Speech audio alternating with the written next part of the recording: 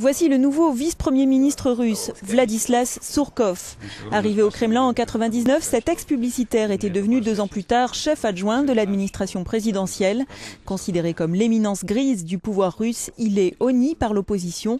Son remplaçant sera-t-il plus à l'écoute des revendications des manifestants? Pas sûr. Il s'agit d'un proche de Poutine, issu comme lidérant du KGB. L'homme fort de la Russie qui a par ailleurs rejeté les appels de l'opposition à annuler les résultats des législatives, se positionnant en vue du scrutin présidentiel de mars 2012. En tant que candidat, a déclaré Vladimir Poutine, je n'ai besoin d'aucune tricherie, je veux que l'élection soit la plus transparente possible et que ce soit clair pour tout le monde, je veux m'appuyer sur l'expression de la volonté populaire.